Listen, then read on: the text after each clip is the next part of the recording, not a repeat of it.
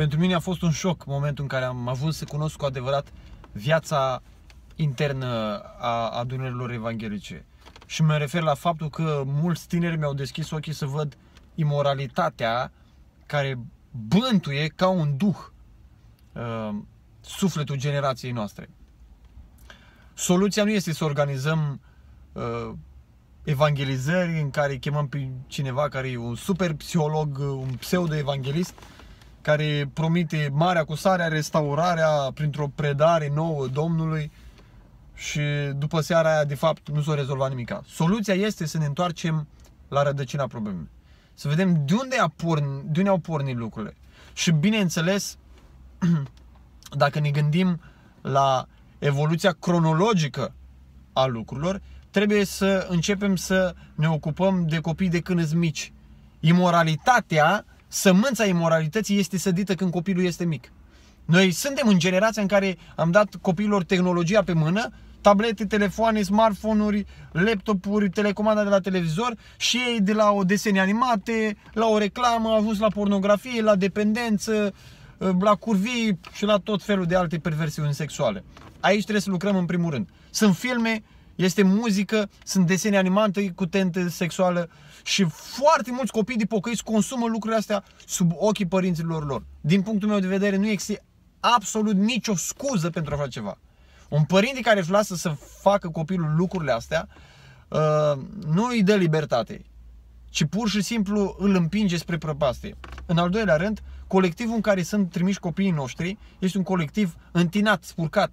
Copiii de vârsta lor știu informații de natură sexuală și au experimentat, poate, la o vârstă foarte fragedă, uh, lucruri de genul ăsta. Ori îi scoatem din colectivul ăsta, ori îi blindăm așa de bine și putem trimite acolo ca să facă față, ori avem o încredere atât de mare în relația cu copiii noștri și ei noi, încât ei să poată să ne mărturisească lucrurile cu care se confruntă, ca noi să-i putem ajuta să se protejeze pe ei înșiși. A treia sursă a imoralității sunt grupurile astea de prieteni, fete și băieți, poate credincioși, în care ei uh, experimentează o apropiere fizică anormală. Și părinții cred că sunt în siguranță, dar nu sunt în siguranță. Acolo flirtează, acolo încep să spună detalii intime, acolo încep să se apropie fizic, să se mai îmbrățișeze, să se mai atingă și mulți dintre ei ajung uh, acolo, nu trebuie să, unii nu trebuie să ajungă niciodată la relații sexuale uh, înainte de căsătorie cu persoane cu care cel mai probabil nici nu o să se căsătorească. A patra cauză sunt taberele. Am auzit de nenumărate ori uh, uh,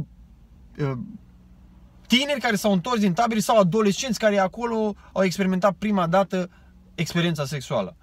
Unele fete au venit însărcinate, altele au făcut avort după ce s-au întors în tabere, alți tineri au experimentat în grup un fel de orgii sexuale, deci lucruri care sunt foarte grave, foarte grave. Îi trimitem acolo ca să învețe despre Dumnezeu și ei vin de acolo uh, după ce uh, au experimentat tot felul de lucruri, vin de acolo bulversați și uh, cu mintea spurcată. A cincea cauză sunt romanele și revistele. Pornografia la femei sunt romanele de dragoste și revistele de modă. Unele, unde sunt învățate să se comporte, să se îmbrace și să arate ca niște obiecte sexuale. Și fetele astea ajung să intre în bisericile noastre. Și fetele astea ajung să fie uh, fete care sunt o cursă pentru tinerii din biserici și până la urma urmei să fie fete care sunt neîmplinite și care ajung să sufere în viață pentru că s-au transformat pe ele însele în niște obiecte sexuale. Și aici aș adăuga al șaselea lucru, lipsa de timp, de investiție, de energie dată din partea părinților copiilor. Dacă copilul tău nu e împlinit, nu e iubit în relația cu tine, sigur, la un moment sau la altul se va duce într-o relație cu altcineva. Și probabil se va duce într-o relație cu cineva de sex opus și va trece toate barierele și toate limitele pe care tu probabil n-ai vrut să le treacă sau nu știu dacă te-ai interesat să le treacă sau nu. Apoi v-aș aminti al șaptelea lucru, relațiile de prietenie. Relațiile de prietenie sunt un focar de curvie. Dacă fata sau băiatul tău sunt capabili să se căsătorească, nu au niciun drept să fie într-o relație de prietenie. Că în relația de prietenie o să se sărute, o să se țină de mână, o să se pipăie și cel mai probabil o să ajungă la relații sexuale. Tu poate nu vrei lucrul ăsta, poate nici nu crezi că o să se întâmple lucrul ăsta, dar este o irresponsabilitate și o naivitate extremă să crezi că nu o să ajungă acolo un băiat sau o fată care e inflamată de hormoni și care a ajuns la vârsta în care probabil ar trebui să se căsătorească.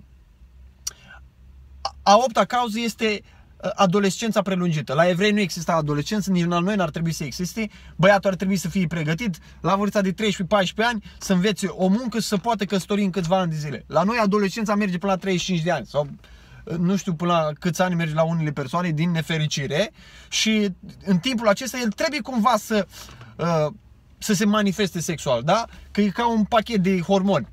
În loc să se căsătorească așa cum ar fi normal, noi învățăm tot felul de tehnici, poate de abținere, care oricum nu funcționează, da? Ajung să com- consume pornografie, ajung să trăiască în relații sexuale interzise, ajung să uh, practice uh, masturbarea și așa mai departe. Uh, adolescența asta prelungită nu-i de folos. Apoi vă reamintesc logodna prelungită. Domnule, dacă ești pregătit din punct de vedere psihic, emoțional, spiritual, fizic să te căsătorești, căsătorește-te. Nu școala e cea mai importantă, nu locul de muncă e cel mai important, astea vin. Astea vin oricum. Și familia și societatea au intrat într-o colaborare comună de distrugere a tinerilor prin faptul că, în loc să-i lase la timpul potrivit să căsătorească, le pun piedici. Nu, stai, termin școala, nu, mai fă o școală, nu, fă și masterul, fă și doctoratul, nu, găsește-ți întâi în loc de muncă, nu, întâi fă o casă. Și tot felul de lucruri de genul ăsta, care de fapt nu fac altceva decât să împingă pe tineri spre imoralitate. Și uh, aș mai aminti vestimentația.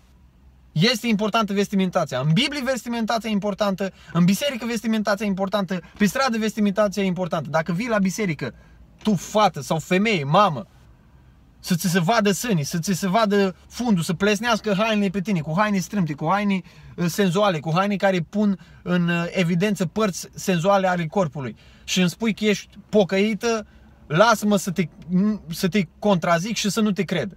Lasă-mă să judec starea inimii tale și să spun că nu e una corectă.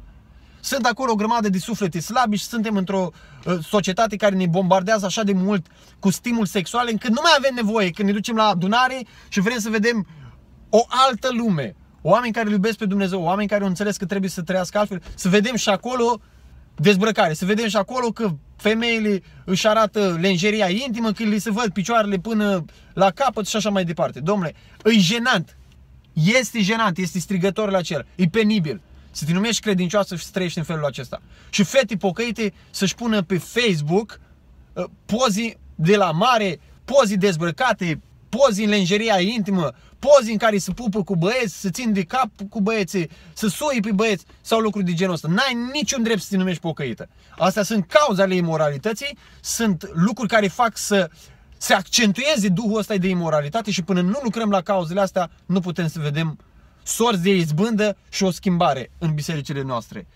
Chemarea mea pentru voi asta este.